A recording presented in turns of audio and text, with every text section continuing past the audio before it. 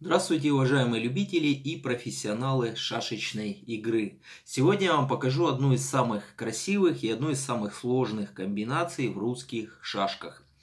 Э, создал ее э, известный белорусский шашечный композитор Михаил Юрьевич Бень, а показал мне эту комбинацию э, известный московский мастер Валерий Евгеньевич Сафронов, ветеран Шашек, кстати, тренер известного чемпиона мира Александра Шварцмана. Э, и показал он мне ее на соревнованиях э, чемпионате России по русским шашкам. Вы знаете, друзья, я вечером бился несколько часов над этой комбинацией. Утром встал пораньше, тоже пытался решить ее. Еще вечером пытался, ну, добить ее, не смог, друзья, понимаете что не, что не делал, как не ломал голову, так и не смог ее решить. Ну, давайте покажу ее вам. Вот эта комбинация великолепная. Ну, я пытался решить ее по-разному. Пытался как-то отдавать шашки. Пытался начать с тихого хода, заставить черных сделать какие-то необдуманные ходы. Но, друзья, так и не смог решить. Э, попытайтесь решить ее. Если не получится, не расстраивайтесь, комбинация действительно сложная. И Валерий Евгеньевич еще про эту комбинацию рассказал такую забавную историю. То есть они как-то в поезде ехали со стоклеточниками. Ну, стоклеточники нас называют русачами.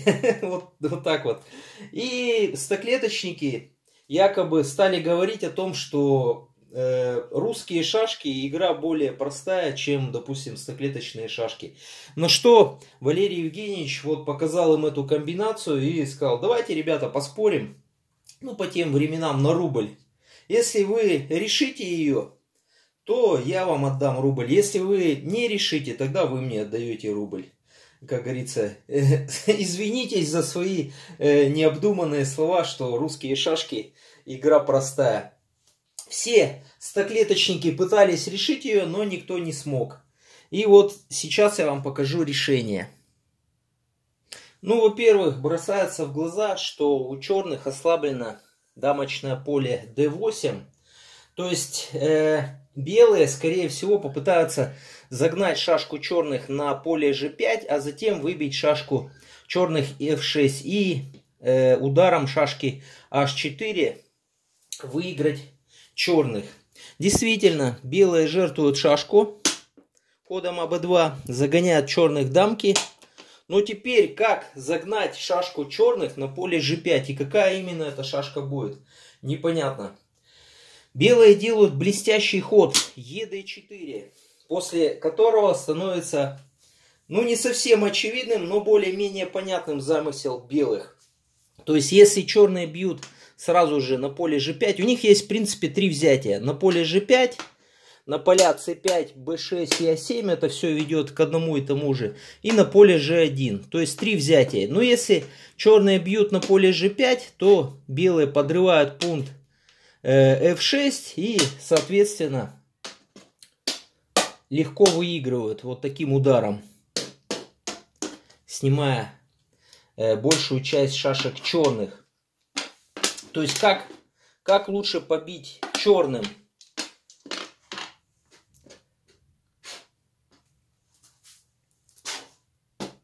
Отдали ЕД4.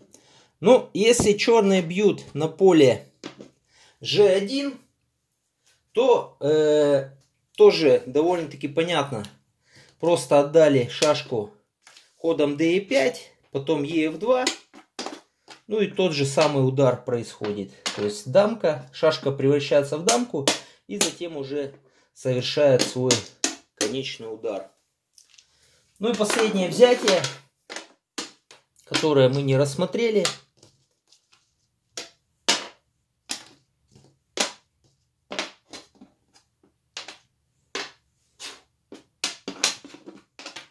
ЕД4. Черные бьют, допустим, на поле А7. Вот тут не совсем понятно, как заставить черных, э, дамку черных на А7 попасть на поле G5. Но все-таки ответ есть. Белые ходят HG3, неожиданный ход. Черные бьют, белые отдают одну шашку, вторую шашку. То есть, видите, видите белые поставили шлагбаум, так называемый, на поле d4, э, то есть дамка черных должна остановиться на поле e3, она не может бить дальше. И затем белые наносят свой финальный удар.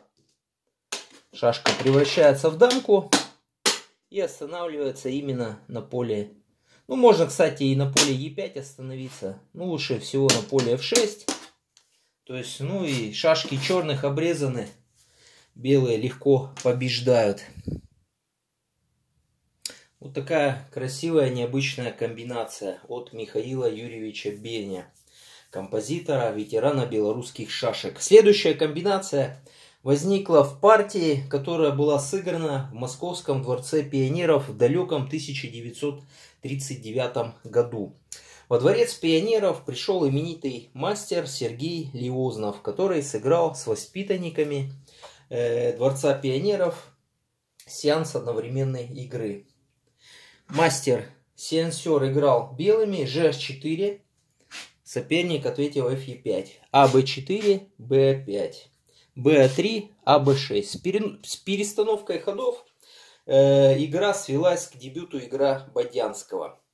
ЕД4, Б7. Э, разменялись. И здесь Сенсер э, сделал плохой ход FE3. То есть он уже проигрывает. И на что воспитанник э, Дворца пионеров точно ответил ЕФ4. Разменялся. Ну, позиция белых плохая. Надо как-то что-то выдумывать, придумывать. И белые ответили GF2. Последовало HG7. Тут еще последовала еще одна ошибка. Ну, на самом деле, ход F3 еще не проигрывал. Тут еще была ничья, но сейчас э, белые делают про проигрывающий ход cb2 ловушечный и уже окончательно проигрывают.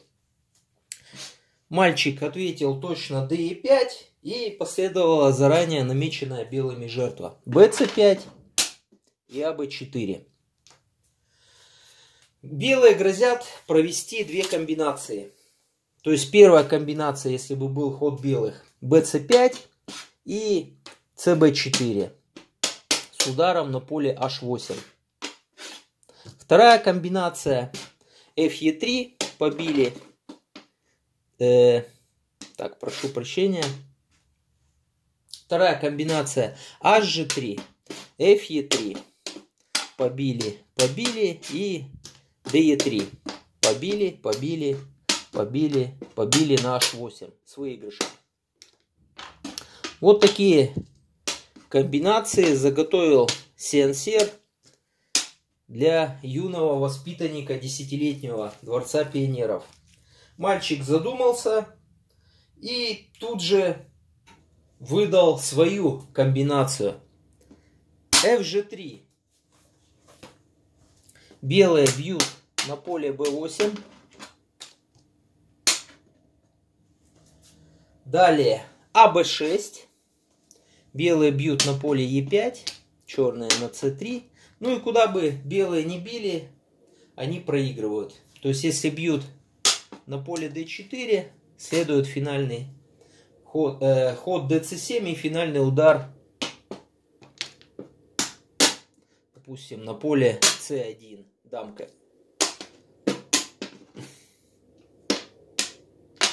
Если же белые бьют на поле b4, то следует уже вот такой финальный удар.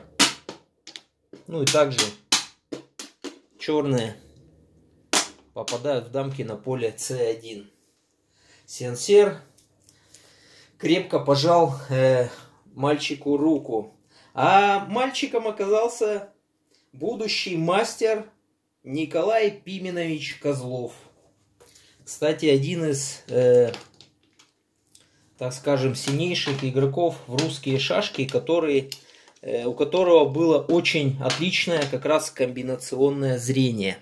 Ну и последняя комбинация на сегодня, так скажем, на десерт.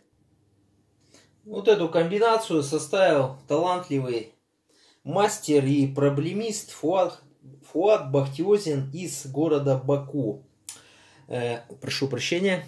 У белых всего 4 шашки, у черных полный комплект, 12 шашек. Ну, конечно, непонятно, как они так, как белые шашки попали на поля А7 и Б6, но тем не менее. Э, комбинация довольно-таки интересная и забавная. Попытайтесь решить ее. Не расстраивайтесь, если у вас ничего не получится. Белые начинают проводить комбинацию ходом АБ8.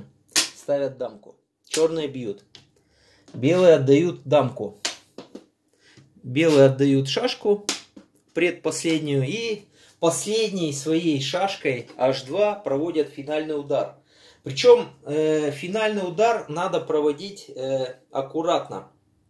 То есть давайте покажу э, последовательность боя шашек черных белыми. То есть первая шашка бьется G3, затем E5, то есть вот так бьем, затем E7, затем G7, затем G5, затем D2, B2, B4, D4 и заканчивается комбинация на поле G1. То есть показываю сюда, сюда, сюда, дамка, сюда, сюда, сюда, сюда, сюда. И затем снимаются все шашки черных. И у белых остается дамка против двух шашек. Эншпиль легко выигран. Вот такая вот забавная комбинация. Я думаю, она будет э, наиболее всего интересна вашим детям. Друзья, если вам понравились сегодняшние комбинации, пожалуйста, поставьте лайк и подпишитесь на канал. И можете поделиться этим видео в соцсетях. Я думаю, что многим любителям русских шашек будет интересно данное видео. До свидания, с вами был Олег. Кстати, сегодня э, в 21.15, э, прошу прощения, в 20.15 по московскому времени на шашечном канале «Все о шашках» состоится стрим с моим участием и с участием тульского кандидата в мастера Арсения Ценова. Будем играть в шашки. Он будет играть, я буду комментировать, так что присоединяйтесь. Увидимся вечером.